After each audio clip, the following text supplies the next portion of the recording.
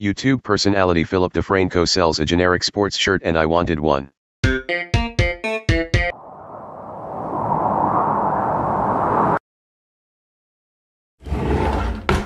Hey, hey. What's with the shirt? Oh, you mean this shirt? Yeah. YouTube personality Philip DeFranco sells a generic sports shirt and I wanted one. That's cool. But, I could only afford the cheap knockoff sold by a street vendor in Uzbekistan. Huh, suddenly now I also support sporks, damn right you do.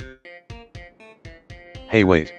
Hey I am sure you've noticed a lot of activity here on this channel, it would sure help me out if you'd hit that subscribe button. In fact if you're not convinced check out this video here. I am sure you'll love it. And if you're looking for something a bit different this one ought to do the trick.